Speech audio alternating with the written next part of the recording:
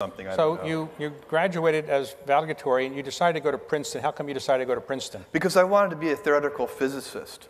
And uh, I, so I went to Princeton, and um, I, I was a really good student, as I pointed out already. I, I got A pluses on almost everything. I, I um, uh, had, uh, I was in the honors, honors physics track, which starts out with you know 100 students, and by the time you get to quantum mechanics, it's like 30.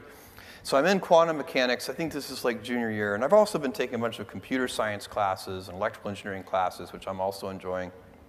And I, um, I can't solve this partial differential equation. It's really, really hard. And um, I, I've been studying with my uh, roommate, Joe, who also is really good at math. And, um, and the two of us worked on this one homework problem for three hours and got nowhere. And we finally said, we looked up at each other over the table at the same moment. We said, Yosanta. Because Yosanta was the smartest guy at Princeton. And um, we went to Yosanta's room, and he was Sri Lankan. And in the Facebook, which was an actual paper book at that time, there were, his name was three lines long because I guess in Sri Lanka, when you do something good for the king, they give you an extra syllable on your name. And so he had a super long last name, the most humble, wonderful guy. And we show him this problem. And he looks at it, he stares at it for a while, and he says, cosine. And I'm like, what do you mean? He's like, that's the answer. And I'm like, that's the answer? And he's like, yeah, let me show you. So he brings us into his room, he sits us down, he writes out three pages of detailed algebra. Everything crosses out, and the answer is cosine. And I said, listen, Yosanta, did you just do that in your head? And he said, No, that would be impossible.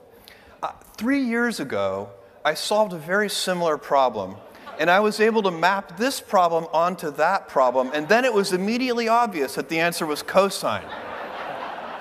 And I, that was an important moment for me because that was the very moment when I realized I was never going to be a great theoretical physicist.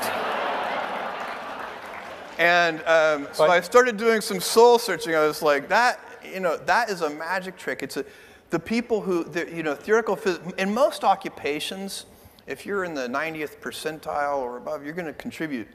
In theoretical physics, you've got to be like one of the top 50 people in the world, or you're really just not helping out much. You know, you're, and, uh, and so uh, I was very clear that I, like, I, I, I saw the writing on the wall, and um, I changed my uh, major very quickly to electrical engineering and computer